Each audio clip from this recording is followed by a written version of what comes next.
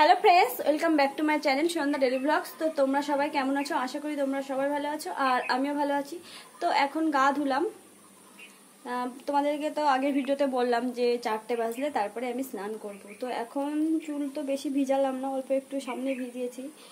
তো চুলটা বেঁধে রেখেছি গরমের জন্যই। আর চলো, কটা বাজে তোমাদেরকে একটু দেখাচ্ছি। দেখো, পাঁচটা বাজতে পাঁচ মিনিট বাকি। তো দেখলেই পাঁচটা বাজতে পাঁচ মিনিট বাকি আছে। আর কি বলতো, আজকে পড়ানো নেই, আমার ছুটি আজকে। তো ওই জন্য ওই জন্যই দেরি করে স্নান করলাম।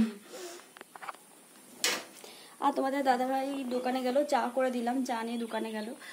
আর আমার এদিকে সব কাজ করে নিলাম, ঘর ঝাড় দেওয়া টিয়া সব কাজ উপর দিয়ে, নিচে দিয়ে সব ঝাড় টাড় দেওয়াও হয়ে গেছে। আর এখন কোনো কাজ নেই, রাত্রিবেলা রান্না করা ছাড়া।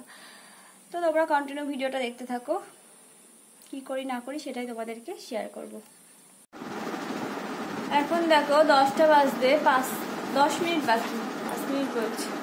আর খাওয়া দাওয়া করে সবে মাত্র ঘরে এলাম, তো এখন বিছনা করব। বিছনা এখনও করা হয়নি, তো বিছনা করব, করে তারপরে ঘুমাবো। আর তোমাদের দাদাভাই দেখো এদিকে কাজ করছে। তো সবাইকে গুড নাইট আবার সকালে দেখা হবে। তো সবাইকে গুড মর্নিং এখন বাজে পাঁচটা, আর আমি উঠে পড়েছি তাড়াতাড়ি উঠে পড়েছি, তো উঠে বাসি কাজ বলতে ছাদটা ঝাড় দিলাম, দিয়ে আমি নাইটিটা চেঞ্জ করে চলে চলে এলাম, আর বাসি নাইটি নাইটিগুলো ধুয়ে দিলাম। আর এখন তো সকাল সকাল উঠছি, উঠতে হচ্ছে সকাল সকাল। কি বলতো? রাত্রেও না খুব গরম পড়েছে, ঘুমও হচ্ছে না। কিন্তু কিছু করার নেই, সকাল সকাল উঠতে হবে। কারণ আমাদের মর্নিং স্কুল হচ্ছে, তাড়াতাড়ি না উঠলে কাজও আমি সব কিছু করে নিতে পারব না। আর রান্না তো করতেই হবে সকাল সকাল, কারণ বাড়ি এসে, এই গরমের মধ্যে বাড়ি এসে রান্না করাটা আরও বেশি কষ্টের। তারপরে দেখো, বিছনা আমার তোলাও হয়ে গেছে, আর বিছনাটা ঝেড়ে ঝেড়ে সব কিছু পরিষ্কার করে নিয়েছি।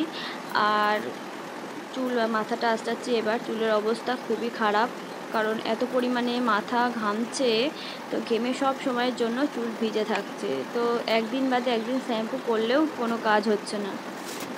তোমাদের সাথে ডেলি ব্লগ শেয়ার করি, কিন্তু দেখো, এক সপ্তাহ ধরে কোনো আমি কাজ করছি, গরমের জন্য কোনো ভিডিওই করতে ভালো লাগছে না, তো কি কি বলব আর? তো আজকে ভাবছি যে না, আজকে একটু কাজকর্মগুলোই তোমাদের সাথে একটু শেয়ার করি। তো দেখো, তারপরে আমি ঘরটা ঝাড় দিয়ে দিচ্ছি।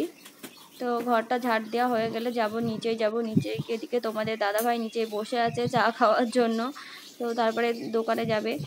তো ওই জন্য তাড়াতাড়ি করছি আমি। তো সকালবেলা আমাদের মর্নিং স্কুল হচ্ছে।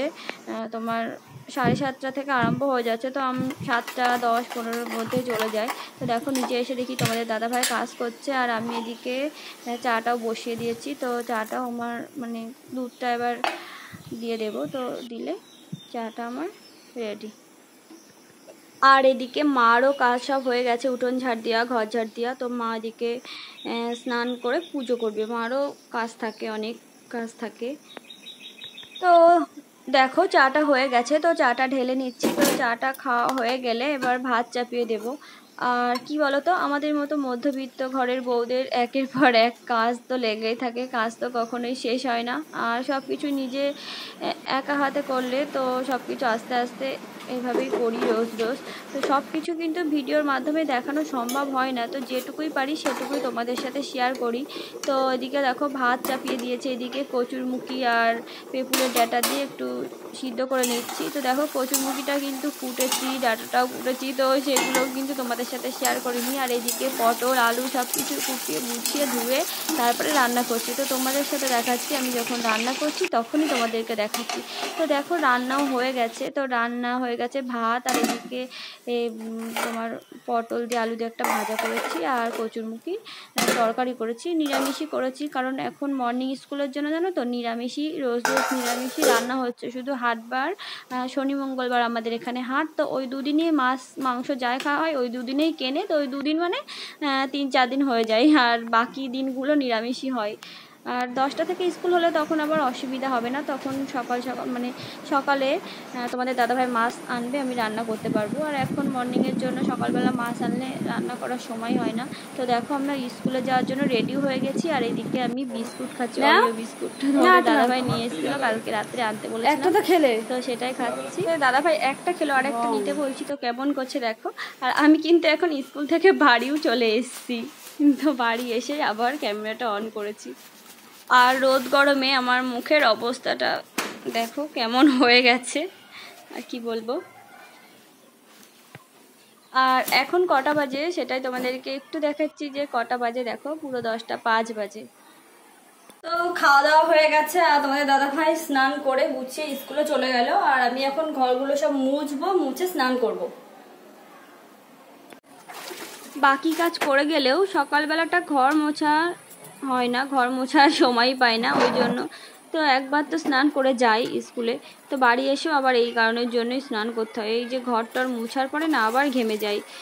আর স্কুল থেকে আসলেও আবার ঘেমে যাচ্ছি। তো ওই জন্য আবার স্নান করতে হয় দুবার করে। আবার রাতের বেলা আর একবার স্নান করি। তিনবার করে স্নান করছি। আর কি বলব তোমাদেরকে? তো খুবই গরম। সবাই প্রায় সবাই এমন করে গরমের সময় সবাই এমন করছে আর কি।